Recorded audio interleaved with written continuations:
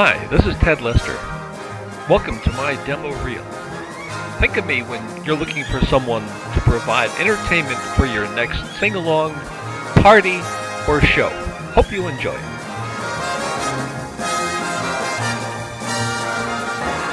And now, please welcome your Master of Ceremonies, Ted Lester.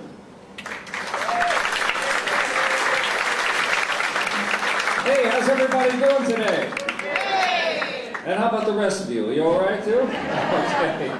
And we got such a low budget show, I had to introduce myself back there. But uh, want to thank you so much for coming to see our show, the Savannah USO Club show, and uh, we've got a lot for you this afternoon. And let's get started right now with Cindy Goldberg singing Sentimental Journey. Folks, today we're going to be honoring the USO and all that it's done for servicemen and servicewomen all over the world for well over 50 years. And we're going to be honoring one special person, one entertainer who has traveled more miles and has spent more time entertaining troops overseas than anybody else in history. This man celebrated in 1996 an amazing 60 years with NBC and has been one of the greatest entertainers in the history of show business. Yes, I'm talking about old Ski Nose himself. Yes, just a very sight of him could bring a smile to your lips.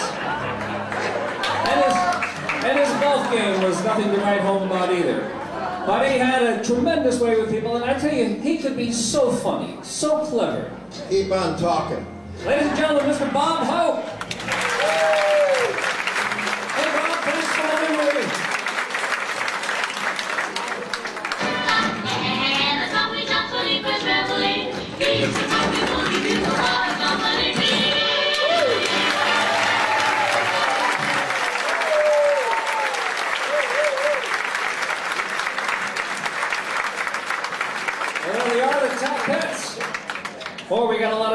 Girls on our Savannah USO Club show.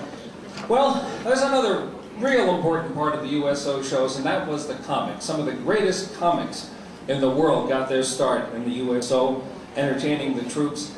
And I'd like to bring back, as my part of the show, I'd like to bring back one of those comics now. He recently passed away, uh, but uh, going to live on for the next few minutes here. Please welcome Mr. Rodney Dangerfield.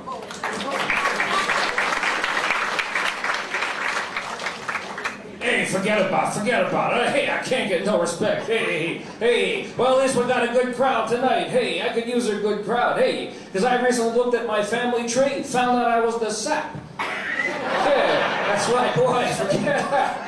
You're kidding me? Hey, hey, hey, boy, I gotta tell you that I come from a dumb family too. Hey, my great great uncle during the Civil War, he fought for the West. Hey, wow. Going over these jokes here, all right. Yeah, hey, when I was born, boy, wasn't I an ugly kid. I was so ugly when I was born, the doctor slapped my mother. That's how bad it was. Hey, and boy, did I have trouble as a kid. You know, I tried to play with the yo-yo, never came back. hey, my parents used me as a poster boy for birth control, for God's sake. Hey, anytime my old man wanted sex, my mother would show him a picture of me to discourage it. Hey. I can't, I can't get no respect. Hey, even my cat. You know, I played in the sandbox as a kid. My cat kept covering, covering me up. Hey. Hey, and one time I, uh, when I started, first started to learn to walk, my old man tripped me. That's how bad that was. Yeah, I wanted to learn to do ice skating, right? Hey, forget about it. My, I wanted to ice skate. My old man said, why don't you wait till it's warmer? What? What kind of a childhood that I had? Hey, forget about it. Because, hey, you know, I mean, I tell you, I even got kidnapped as a kid. And my parents got a phone call and said, we want $5,000 or you're going to see your son again. Yeah, that's how bad that was. Yeah, that's how bad that was. Hey, and finally, you know, when I did get a date, boy, that was tough. One, one, time I got a call and this girl says, hey, come on over, there's nobody home. I went over, there was nobody home. And when I finally did get a woman to make love to me, know, we're making love, she starts crying. I say, what's the matter? You gotta hate yourself in the morning? She says, no, I hate myself now. hey. I got married and everything changed. You know, my wife and I had 20 happy years, and then we met. hey, what a wife got. Hey, forget about it. You're kidding me? Ah, then my wife, hey, you know, I was in the bar the other day, and a bartender comes over, over, and I was kind of low thinking about my wife, and I, he says, well, you have. And I say, surprise me. So he showed me a naked picture of my wife. Forget about it. You know, I'm coming home the other day, and I see a guy running down the street naked. I say, hey, what, the, what are you doing that for? He says, because you came home early. It. I can't get, I can't get no respect. Ah, ah. Forget about it. Hey, just the other day, I come home, my wife is standing in the front door wearing the sexy negligee. Trouble is, she was coming home at the time. Yeah, hey, uh, what a wife I got. You know, my wife will kiss the dog, but she won't drink out of the same glass as me. Yeah, yeah, hey, and our dog's no picnic either. I tell you what, we call our dog Egypt because he keeps living, leaving little pyramids all over the house. Forget about it. What kind of a dog have I got? You know, his favorite bone is in my leg. Forget about it. The other, the other day, he's, trying, he's standing at the door barking. He doesn't want to go out. He wants me to leave.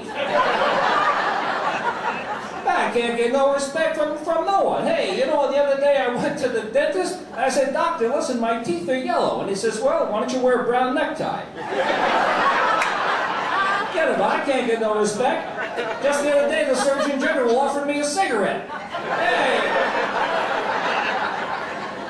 To a hooker. She told me she had a headache.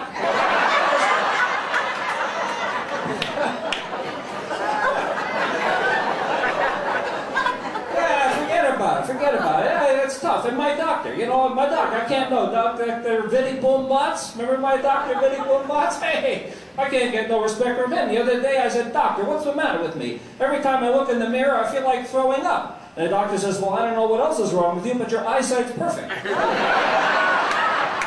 Kidding me?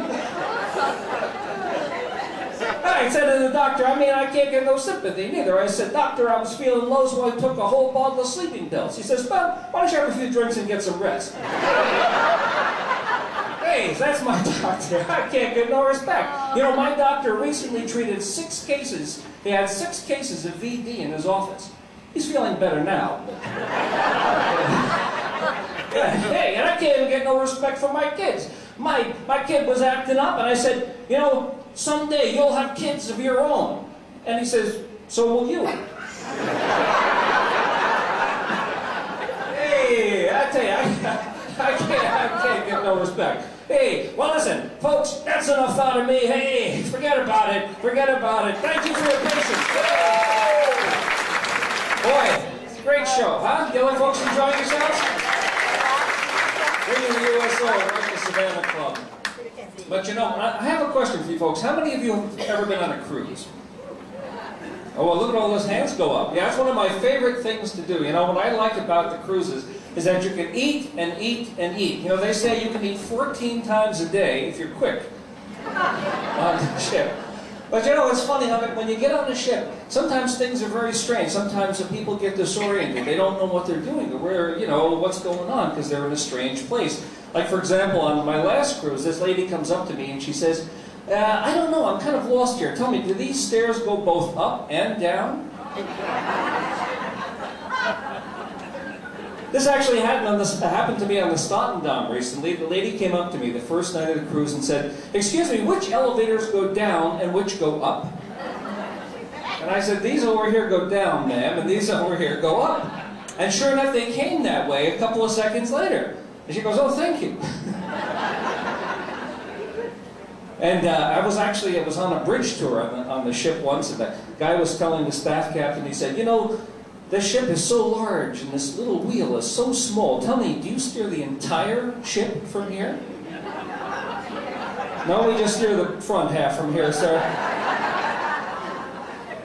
And finally, uh, sometimes uh, you know people get confused by all the beautiful colored lights. They see all these colored lights and all the lights in the cabins. And one guy asked me, "Tell me, does the ship have its own electrical power?" No, we just plug an extension cord in Fort Lauderdale, drag it all over the Caribbean. all right, well, folks, now it's time for some good old country music. Please bring up Shirley, Sonny, and Paul.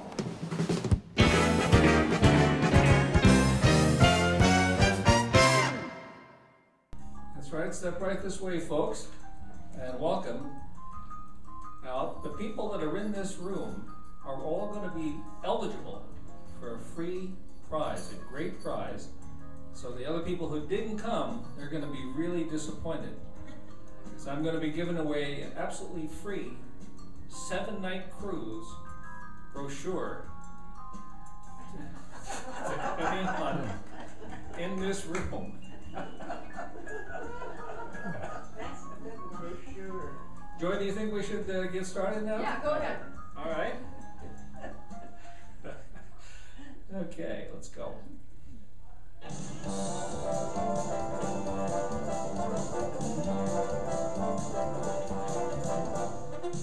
All right, so as uh, you heard, I'm Ted Lester, and I'm going to be performing for you today. We're going to be doing uh, some uh, sing-along music, and we're going to be playing some old songs that I hope you know and remember and enjoy. So uh, let's just uh, let's just get started with it right now.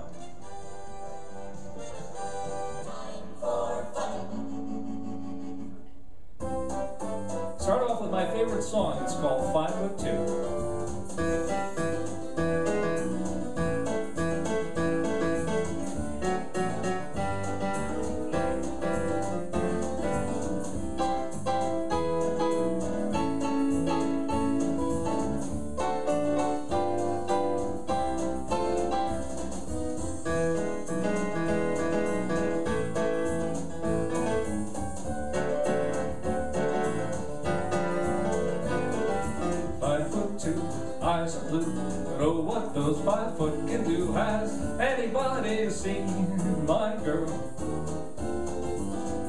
Nose, turned down hose. Never wore no other clothes. Has anybody seen my girl? Uh, I've been playing uh, music in the area for a while. I've played at the Santa Maria Terrace uh, in Santa Maria, and I've played at some of the other homes in the area.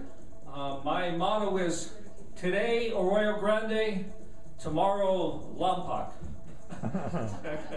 so I have, but it's fun. I enjoy it a lot. I like to tell jokes. I'm uh, sort of known as king of all the rotten one-liners. So uh, it's uh, it, it's possible that uh, I may be telling some some uh, jokes here today. We'll have uh, we'll have some fun with that, and we're going to be doing some sing-along. We do something a little different here. Rather than passing out songbooks, what I do is I have the lyrics appear on this television set, where as you can see my handsome face there. Uh, Ted Lester's Fun Time. So like I say, uh, when the lyrics pop up, I invite you to sing along uh, and uh, just uh, have fun. And also, I take requests. I, I'll do anything but stop playing because I don't get paid if I stop playing. See? So I will play, but uh, uh, if you have any favorite songs or favorite artists or anything like that, you just, after a few songs, you just let me know, and uh, I'll see if I can uh, find them and play them, and then we'll, we'll uh, sing along here. Okay, well, good. So uh, we'll, we'll get started with uh, the first couple of songs, and then take some requests from you.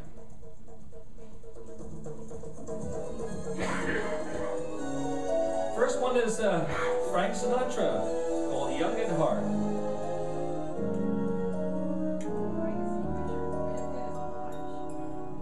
Fairy tales can come true, it can happen to you. If you're young at heart, just sing along if you'd like.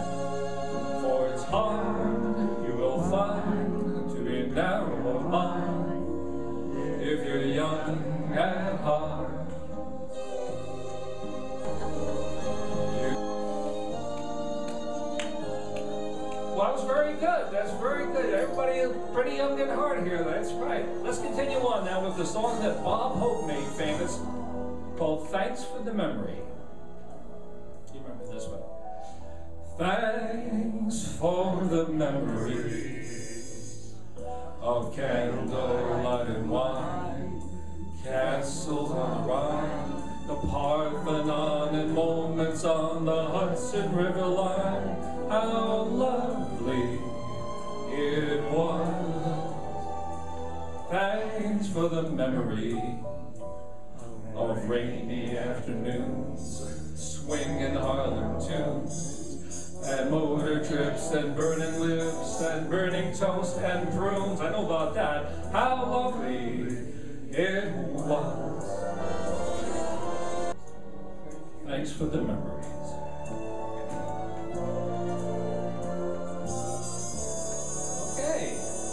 Old Bob Hope song. You guys remember Bob Hope? Thank you. Here's a Matt Monro tune. Very, very, one of my favorite singers. Real crooner. I'll see if I can croon. There could never be a portrait of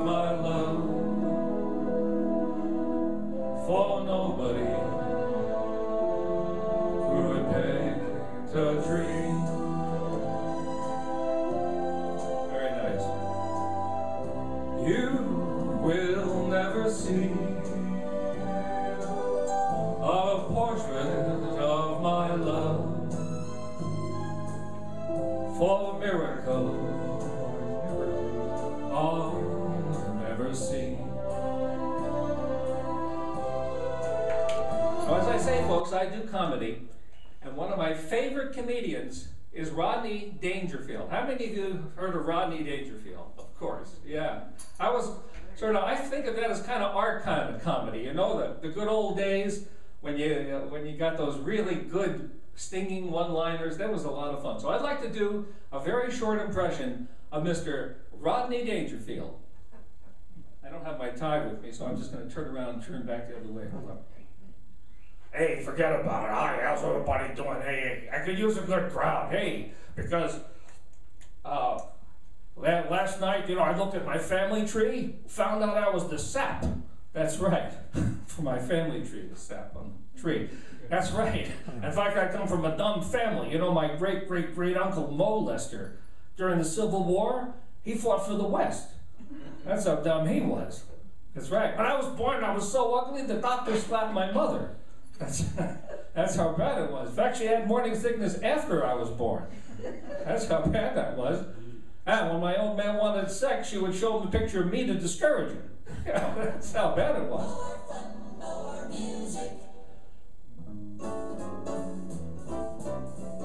Old gang who sang Heart of My Heart. Let's sing. Heart of my heart, I love that melody. Heart of my heart brings back a memory. When we were kids on the corner of the street, we were rough and ready but oh how we could harmonize it. Heart of my heart, being friends dearer than. Too bad we had to part. Yeah, I know what's in would listen. If once more I could listen to that gang that sang Heart of My Heart. All right, good. Let's sing along here. Heart of my heart,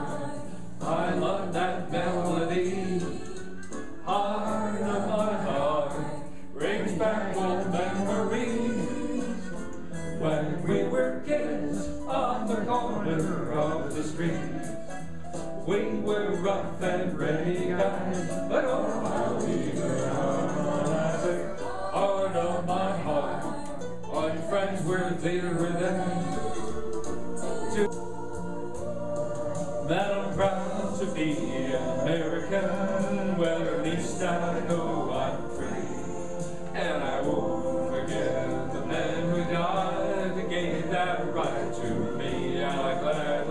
gladly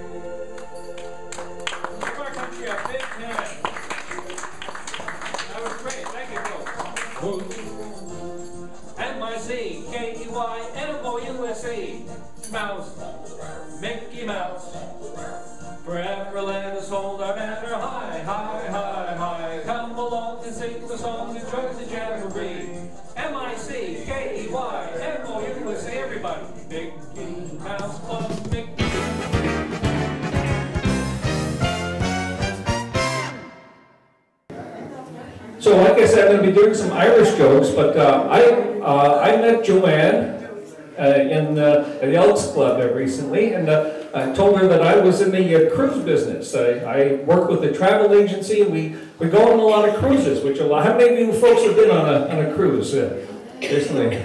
All right, great. Great. Well, you can feel the excitement in this room. But uh, you know, it's it's amazing when people are on the ship, they get kind of disoriented and not quite sure uh, what's going on. Like I was on one ship, and this lady comes to me and she says, "Excuse me, Ted, do these stairs go both up and down?" You know, man. It's a true story. I, I I just gotten on a ship, a Holland America ship, and uh, the I just come out of the elevator. And a lady came up to me and she said, excuse me, which of these elevators go up and which go down?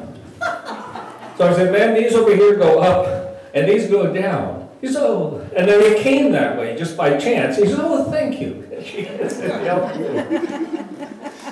We're taking a tour of the bridge and uh, uh, this guy says, uh, you know, this ship, he says to the ca- staff captain, he says, you know, this ship is so big and this steering wheel is so small. Tell me, do you steer the entire ship from here? No, sir, just the front half. We, we have another steering wheel for the back half. Oh, yeah. Well, yeah, you get it? Uh, Someone, uh, someone translate for Audrey with you. But anyway, those are, those are a few of those cruise jokes there. But uh, I'm, I'm also uh, going to attempt, even though I'm, I'm 100% Polish, and of course, remember, we're going to tell some ethnic jokes tonight, you know, so we're going to have to, like in the good old days, you know, before uh, everyone had to be quite so politically correct. So I'm going to attempt to tell Irish jokes with a Polish accent here. We'll, we'll, we'll see what happens. Because, you know, the Irish are very inventive people. I know Audrey's from England, that's, that's uh, fairly close to Ireland, but I know the English and the Irish, they don't get along too well. Uh, but like I said, the Irish are very inventive. You know, in fact, the Irish invented a new tea bag? Yeah, it's waterproof. So, they're very inventive. And uh, Pat and Mike were playing bingo. How many of you like to play bingo? You enjoy playing bingo? Yeah, all right. Well, they were playing bingo, and the caller says, 042. And Pat says, Michael, you got it. And then the caller says, I-15. Pat says, Michael, you got that one too. Then the caller says, B-22. And Pat says, Michael, you got that one too. And Michael says, would you do your own? He says, well, mine's full, so I'm helping you. This is my wild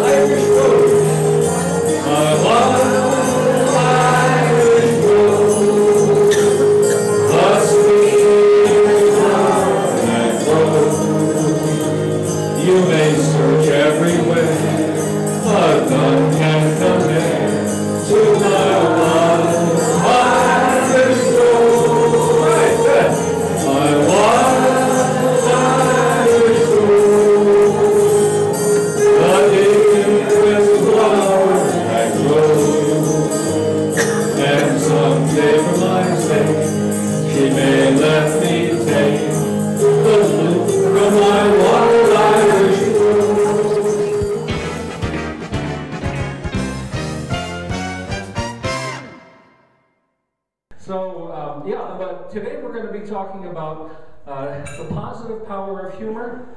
And uh, I am just uh, really happy to be here and to have the chance to, to share with you guys because I do believe that, the, that humor is a lot of what this world needs. You know, I think, for example, of uh, my warm-up act here this morning. First of all, you had the, the uh, Padre here talking about uh, war in the Middle East and how it might be the end of the world.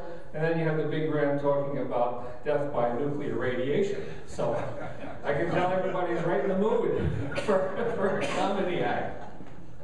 So, um, I'll tell you just a, a bit about myself here. I have been uh, involved with uh, uh, comedy and entertainment for quite a long time. My father was uh, in show business. He had a show business act, uh, had a musical novelty act back many years ago in the, uh, at the end of the period of vaudeville in this country. And I had a chance to be backstage when he was performing and uh, just uh, had a chance to hear a lot of different MCs and comedians. It was really a good education. Must have been to you know 10,000 different venues, and I I've been called by other people king of all the rotten one-liners. That's on a good day. That's what I get uh, called. And um, I performed on cruise ships. I've been uh, on over 100 cruises. Love to be on cruises. I work now with a uh, travel agency uh, or travel consortium down in Southern California. And uh, I've also performed in uh, at senior residences here, so like uh, Santa Maria Terrace. So I, am all ready for you guys. I got my senior jokes lined up in case nothing else works here at the end of this here. And um, Um, I've also uh, led improv comedy workshops, and we're going to be talking about improv comedy and basically a quick overview of different kinds of comedy here in, in just a few minutes. And I love to be funny. I just I just enjoy being funny. And I guess my whole message here for you guys this morning is that there's a lot of positive power in just looking on the funny side of life and looking for opportunities to laugh, for opportunities to be funny, and opportunities to make other people laugh. Makes such a big difference. Doesn't have to take a long time just a little zinger now and then, just developing a kind of basically humorous outlook on life can make a big, big difference to the way you, you feel and the way the day goes for you.